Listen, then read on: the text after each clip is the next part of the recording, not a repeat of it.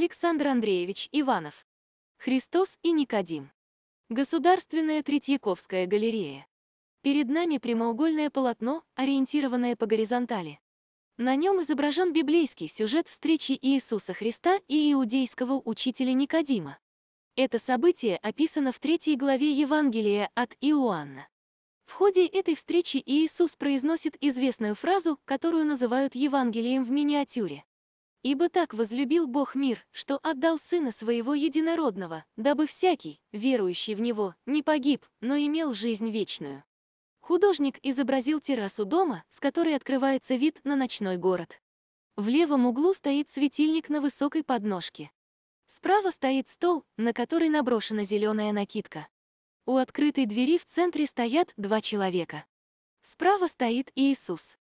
Это высокий молодой мужчина. У него овальное лицо, прямой нос, треугольный подбородок, длинные до плеч каштановые волосы и короткая борода и усы. Он одет в простой длинный хитон красного цвета с длинными рукавами. Слева, в полупоклоне, стоит пожилой мужчина с длинной бородой в богатой одежде. Это Никодим. У него на голове остроконечный головной убор. Одет он в длинный светлый хитон, поверх которого наброшена роскошно расшитая накидка пурпурного цвета. Он сложил ладони перед собой в молитвенном жесте.